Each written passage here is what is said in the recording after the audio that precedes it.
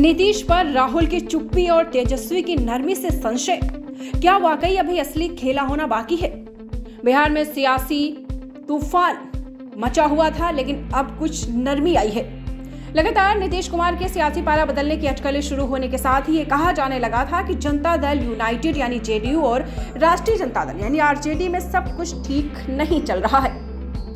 26 जनवरी की शाम राजभवन में हुए कार्यक्रम में नीतीश कुमार तो नज़र आए, मगर तेजस्वी यादव की कुर्सी खाली रही। नीतीश से जब पूछा गया कि तेजस्वी क्यों नहीं आया तो वे बोले, जो नहीं आया, उससे पूछिए।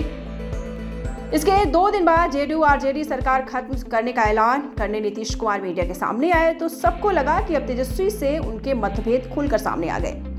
मगर नीतीश कुमार ने बस इतना कहा, सब ठीक नहीं चल रहा था तो हमने सरकार खत्म कर दी। नीतीश कुमार, तेजस्वी यादव या आरजेडी पर आक्रामक नहीं दिखे। नीतीश से राहें अलग होने के बाद जब तेजस्वी यादव का वीडियो बयान मीडिया के सामने आया, तब वो नीतीश कुमार का नाम लिए बिना जेडीयू पर बहुत नहीं आक्रामक दिखे। कांग्रेस नेता राहुल गांधी भी बिहार में भारत जोड़ो न्याय यात्रा के साथ दाखिल हुए तो अपने कार्यक्रम में नीतीश कुमार पर कुछ नहीं बोले। हालाँकि उन्होंने बीजेपी को जमकर निशाने पर भी लिया है। तो आपको बताते चले।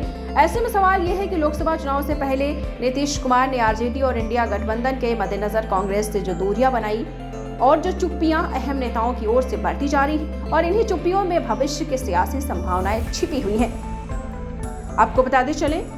ऐसे में सवाल उठता है कि लोकसभा चुनाव से ठीक पहले नीतीश कुमार ने आरजेडी और इंडिया गठबंधन के मद्देनजर कांग्रेस से जो दूरियाँ बनाई, वो काफ़ी अहम है। लेकिन आपको ये भी बताते चले, कि नीतीश कुमार अगर उनको ये करना था तो उन्होंने इंडिया गठबंधन क्यों बनाया और सभी विपक्षी पार्टियों को एकजुट करने की क्यों सोची?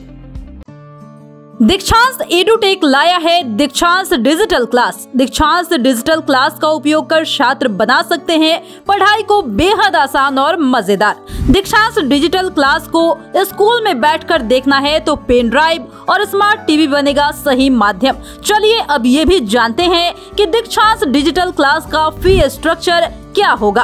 नर्सरी से लेकर यूकेजी के लिए सात हज़ार, नर्सरी से लेकर दूसरी कक्षा के लिए बारह हज़ार, नर्सरी से लेकर पाँचवी तक के लिए अठारह हज़ार, नर्सरी से लेकर आठवीं तक के लिए चौबीस हज़ार, नर्सरी से लेकर दसवीं तक के लिए तीस हज़ार।